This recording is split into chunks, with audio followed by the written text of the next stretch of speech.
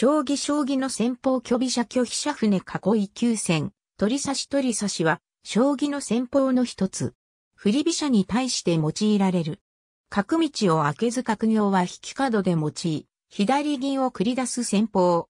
先手で7九角と引き角にして前進する、斜め棒銀をサポートする姿が、昔の取り差しの姿に似ているところから命名されたとされる。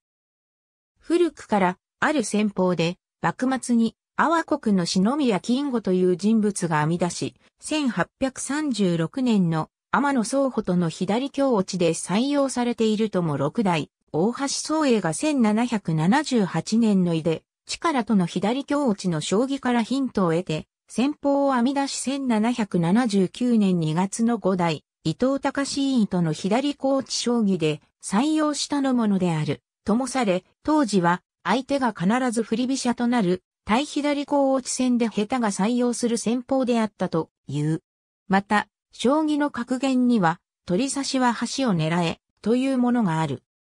現代のプロの対局では、内藤国夫が1969年2月の第18期王将戦、第4局や1972年の第13期王位戦7番勝負第3局と、第5局、第27期 A 級順位戦にて採用し、この時の相手はいずれも、大山康春の例や1972年王座戦決勝での採用などの例がある。先手番なら、初手から2六歩または4八銀、5六歩、6八玉、7八玉、2五歩、3六歩、6八銀、5七銀左、4六銀、7九角と進めて、基本図となる。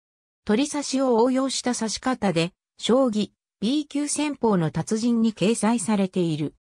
第一図のように46銀左戦法の64歩型島飛車で、頻繁に出現される局面で、先手は通常は38飛や35歩37、銀36銀などであるが、ここで36歩として35銀7 9角に4歩を狙う指し方。